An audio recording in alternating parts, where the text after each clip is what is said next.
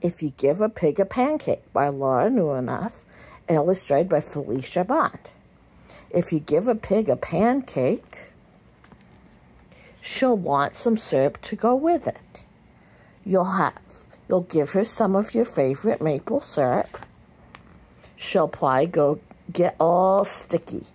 So she'll want to take a bath. She'll ask you for some bubbles.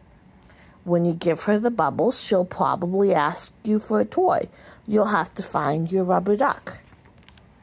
The duck will remind her of the farm where she was born. She might feel homesick and want to visit her family. She'll want you to come too. She'll look through your closet for a suitcase. Then she'll look under the, your bed. When she's under the bed, she'll find an old tap shoes.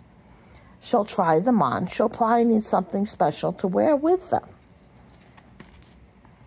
When she's all dressed, she'll ask for some music. You'll play your very best piano piece and she'll start dancing. Then she'll want you to take her picture. She'll have you get your camera. When she sees the picture, she'll ask you to take more. Then she'll want to send one to each of her friends. You'll have to give her some envelopes and stamps and take her to the mailbox. On the way, she'll see a tree in the backyard. She'll want to build a tree house.